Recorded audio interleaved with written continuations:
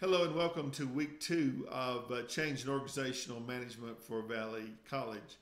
Uh, last week, hopefully, you were able to find your way around the materials and uh, you're caught up and uh, we're ready to go for week number two. Uh, change management is something, as we said last time, that you don't bring with you a lot of institutional knowledge, things you've learned, classes you've taken. So, this is kind of a, a very new endeavor for most of you unless you've worked in the business world. So it is important that you do the daily readings, and we have a chart set up for that, and the daily lectures as they're provided for you to get a, a base understanding of what's involved in the industry, uh, business world as we attempt to uh, make changes to organizations. Uh, what most people don't realize is that an organization is almost a living entity. And if you neglect it and do not make changes and keep up currently with modern technologies and the things that are going on uh, in the world itself, you will fall behind, and usually that will be irretrievable. It will be something you don't recover from. As I mentioned last time in the introduction, uh, Kodak was a was a uh, prime example of what that was like. Now, let's talk about change a little bit. Let's think about that this week as we begin to talk about how you diagnose institutional problems.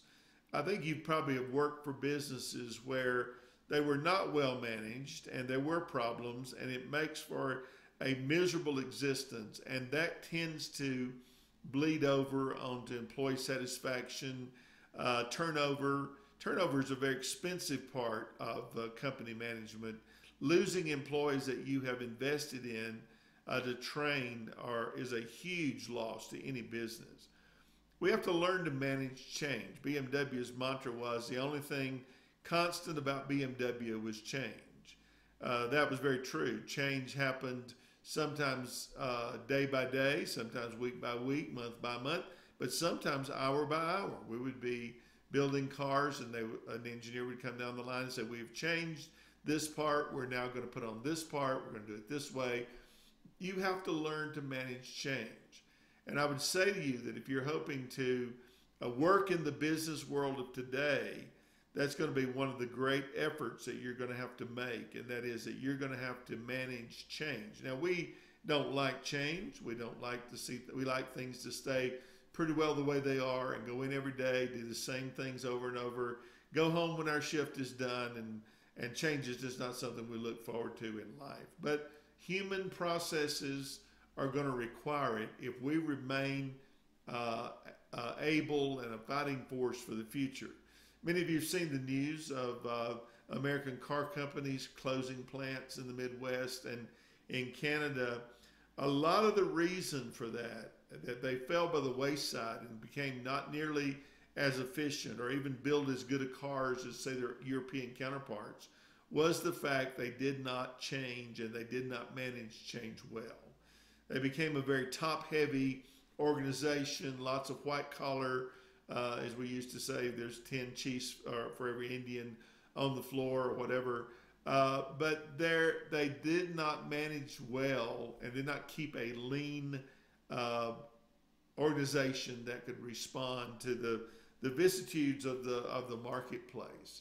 So we want to think about during this week also some of the interpersonal relationships, the group processes that are involved. How do you change a company?